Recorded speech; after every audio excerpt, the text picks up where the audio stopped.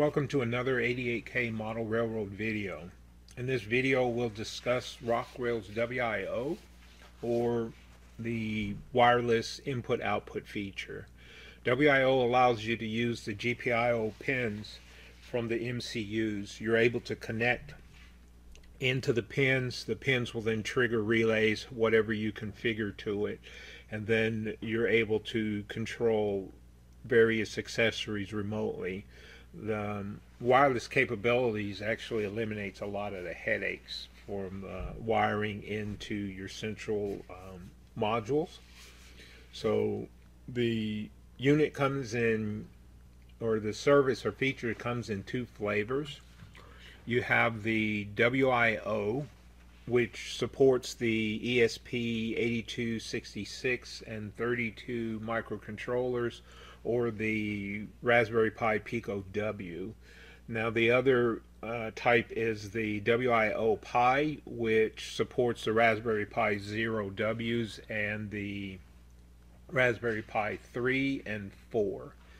Now, with this service, you're able to implement a lot on your layout. You're able to set up outputs for your LEDs, inputs uh, for the feedbacks, occupancy detectors, servos, stepper motors, RFIDs, LEDs, displays, the, all the way down to sound. So you can do a lot uh, by adding the this these modules or utilizing the WIO, the wireless uh, input output. So now let's look and see how it works. Okay, so the WIO, how does it work? So it basically has a microcontroller that has a load on it. That load or software is downloaded, copied to the microcontroller. The microcontroller will boot from it. Then it logs into a Wi-Fi uh, network that is connected to the Rocrail server. Once it logs into the network, then it communicates with the server. It then establishes itself with Rocrail and it becomes a node or a client of Rocrail. And because you have access to the GPIO pins, you can send commands back and forth to either activate a relay or respond to a relay. Now, there's one part you have to configure the MCU. You can do that through the interface in Rocrail. It allows you to connect into the Pi Pico or the ESP32, then uh, write in the configurations. Once you set the configurations, then it's stored onto the MCU so whenever it's powered on it automatically logs in and connects into the Rocrail server. So now let's look at the topography. Okay, so just as the image uh, with the topography, you have your microcontrollers deployed throughout your layout they are then wired into a bank or pool of relays that are connected into your building structures, uh, devices. Now they dial in to the Wi-Fi network that you have. That particular network also has the Pi, or not the Pi, but the PC that runs your Rocrail server. That's how all three of the components interact. You have the the clients connecting into the Wi-Fi router. The router is also connected to the PC. It creates and provides the network, and then the server is able to communicate with the clients. Now, the wiring or the deployment of the MCUs is dependent upon just the location and just actually applying power to it. Then you connect the GPIO pins and you can go from city to city on your layout and they can communicate with one another. So now let's look at the installation of the feature. Okay, so installing WIO, and I'm going to use the Pi Pico in my discussion here. The Pi Pico, I have them, and I have a demo board that's also built that we'll look at. But it's basically the same process in general. You need to download the files.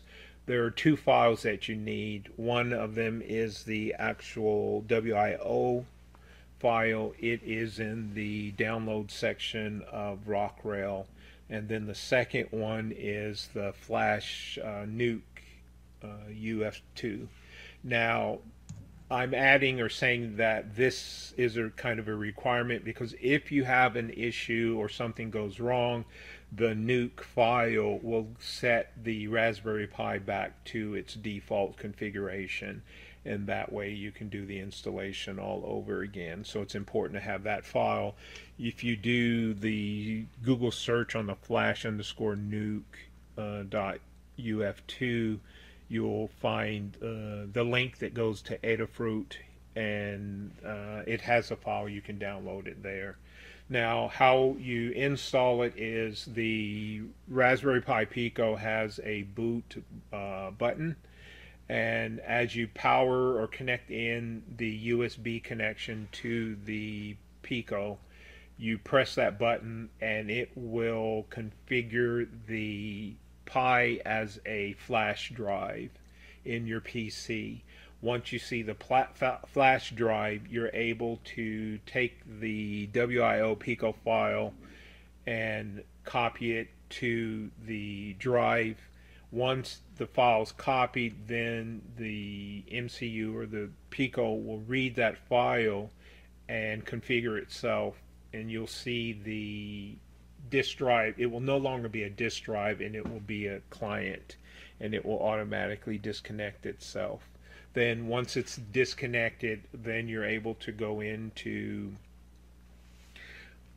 Rocrail and access the WIO window and then it has a maintenance tab and when you connect into the maintenance tab you're able to scan the Pi via or the Pico via the scan command and connect into the COM port and then that will give you access to go and perform the configuration of the Pi. So it's pretty easy, it's cut and dry uh, once you see the process, you'll you'll see that it's not uh, not a big deal. So now let's go into Rocrail and look at it. Okay, so now we're in Rocrail, and we have the Raspberry Pi Pico W here. If we open the file manager, we'll see that the Pi Pico is a like a flash drive. So now if you remember that one file, that nuke file, if you have problems, then just take that file, copy it into the Pi Pico, and then it will go back to factory. Now, let's see, I have the files here. I think it's down here. Now, if I just drag and drop the file the WIO file into the flash into the Pico, it will copy the files over. Then once it copies the file over, it will reboot itself and it will turn into a node. And then now you see it's no the the drive is no longer there available. So let's close this out. And now we can go into the WIO interface or the window, we click on maintenance. Now I have the Pi Pico connected up to my USB connection, right? So if I do a scan device, what it'll do is it'll scan all of my COM ports. Now I can go in and collect or connect into COM port 9. I can connect to it here and now you saw it just read everything that was on the Pi, the configuration file that was in that Pico, the Pi Pico. So once we've got it connected, now what we can do is to do a scan and it will scan for all the networks because now we're setting up the the WAN to get our Wi-Fi connection established. So here, click the 88K, then I put in the password. Here, and then I press the set. So now it will write to the configuration file and then now it's trying to log in. And now it logged in. The Wi-Fi gave it the its IP address and now it's ready to go here. Next step is to add the IP for the server Rocrail server so that's the IP of the PC that's running Rocrail.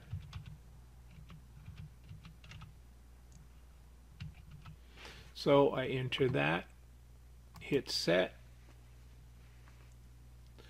So now it's writing that in and now let's configure this to 38.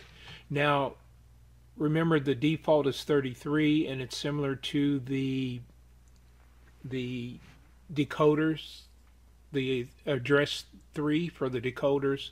That's the, the default and every every every decoder comes in with with the address of 33 pre-program or 3 program and that's the same way with the WIO but it's 33 so if you don't change the 33 then you won't be able to add another um, another uh, client. So let's go here.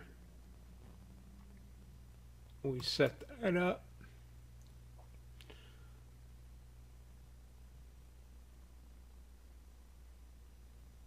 so now it's set and ooh I made a mistake here. I have this automatic set up and now that's why you see it keeps trying to dial into that R2R net. So now I need to go back and take that out. And let me read.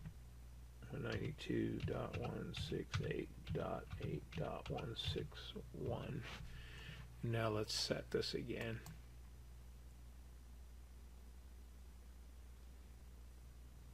So yeah, so remember leave these unchecked and that by default this automatic come pops up. Okay, so now that's set. So now let's go in and oh, one more thing. So you see here, these are the IOs. And now if we go in and click on this A bank or the first one, you could see it has the settings and now I want to go to B. That's going to give me the sensors.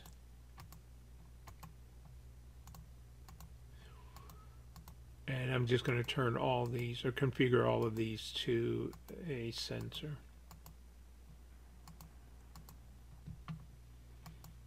Okay you do okay then set. And then we'll do a reboot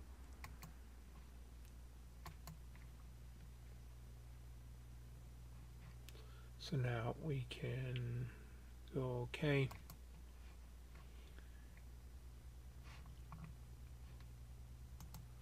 So now let's go in and wait for it to reboot.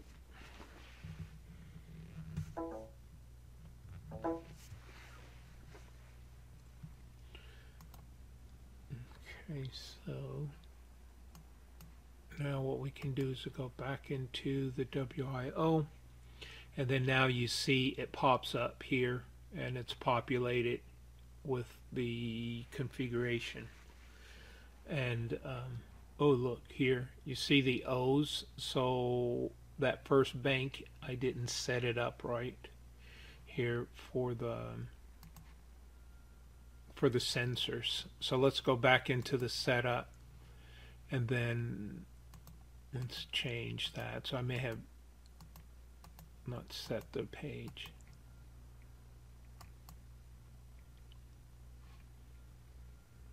Mm-hmm, let's go back here and query. There we go. So now you see it's set so now they're all set up as sensors. So here we can go okay. And now that's how you configure the Raspberry Pi Pico W with uh, WIO. Okay, so now we can go to the bench and then we'll look at the modules itself. So let's do that.